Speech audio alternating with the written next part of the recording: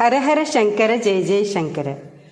மகாபெரியவா சில சமயங்களில் பிரசாதம் கொடுக்கறத கொஞ்ச நேரம் நிறுத்திட்டு சில முக்கியமான ஆன்மீக விஷயங்களை பற்றி பேசுவார். அப்படி ஒரு நாள் சிரார்த்தத்துக்கு ஆயிரத்தி எட்டு காய்கறி சமைக்கணும். அதுதான் சாஸ்திரம்னு சாஸ்திரிகள் சொல்றார். அது எப்படி சாத்தியம்? எனக்கு புரியலையேன்னு ஒரு பக்தர் கேட்டார். அவரோட சந்தேகத்தை போக்குறதுக்காக அவருக்கு மட்டும் இல்லாமல் அங்க இருந்த எல்லாருக்காகவும் சிரார்த்தத்தை பத்தியும் அமாவாசை தர்ப்பணத்தை பத்தியும் பேசினார் மகாபெரிவா இதை முழுசா புரிய வைக்கிற மாதிரி புராணத்துல ஒரு அழகான கதை இருக்கு. அதை புரிஞ்சுண்டா இந்த கேள்விக்கு பதில் கிடைச்சிடும்னு சொல்லி புராணத்தை உதாரணம் காட்டி பேச ஆரம்பிச்சார். ஒரு சமயம் வசிஷ்டர் விஸ்வாமித்திரர் கிட்ட நாளைக்கு எங்க ஆத்துல சிரார்த்தம் அதுக்கு நீங்க சாப்பிட வரணும்னு கூப்பிட்டாராம். அதுக்கு விஸ்வாமித்திரர் நான் கண்டிப்பா சாப்பிட வரேன். ஆனா எனக்கு ஆயிரத்தெட்டு கரிகாய் சமைச்சு போடணும்னு சொன்னார். இதை கேட்டதும் வசிஷ்டருக்கு என்ன பதில் சொல்றதுன்னு தெரியல. ஆயிரத்தெட்டு காய்கறிகளுக்கு எங்க போறது? எப்படி சமைக்க முடியும்? அப்படியே சமைச்சாலும் எப்படி சாப்பிட முடியும்னு புரியாம குழம்பினார். அப்போ அவர் பக்கத்துல இருந்த அவரோட மனைவி அருந்ததி ஆயிரத்தெட்டு கரிகாய் தானே? தாராளமாக சமைச்சு போடுறேன். நீங்கள் அவசியம் நம் பாத்துக்கு சாப்பிட வரணும்னு சொன்னான் மறுநாள் விஸ்வாமித்ரர் வசிஷ்டரோட வீட்டுக்கு வந்தார்.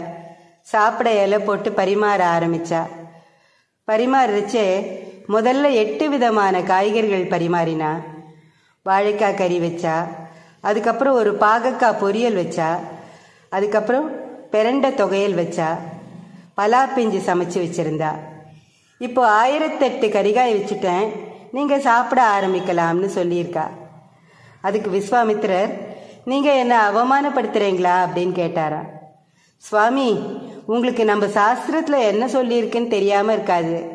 உங்களுக்கு தெரிஞ்சதை இப்போ திரும்பி சொல்கிறேன் அப்படின்னு சொல்லிட்டு ஒரு ஸ்லோகத்தை சொன்னார் காரவல்லி சதம் சைவ வஜ்ரவல்லி சதத்ரயம் பனசம் ஷட்சதம் சைவ சிரார்த்த காலே விதீயத்தே அப்படின்னு சொல்லியிருக்கா. காரவல்லினா பாகக்காய் அதாவது சிரார்த்தத்தன்னைக்கு சமைக்கிற காய்கறியில் பாகக்காய் நூறு காய்களுக்கு சமம். வஜ்ரவல்லின்னா பெரண்டை. பெரண்டை முந்நூறு காய்களுக்கு சமம். பனசம்னா பலாக்காய் பலாக்காய் அறநூறு காய்களுக்கு சமம். அதை தவிர எட்டு காய்கறி சமைச்சிருக்கேன். அதனால் ஆயிரத்தெட்டு காய்கறி ஆயிடுத்து அப்படின்னு சொன்னான் இதை கேட்ட விஸ்வாமித்திரர் சந்தோஷமாக சாப்பிட்டுட்டு ஆசீர்வாதம் பண்ணிட்டு போனார்.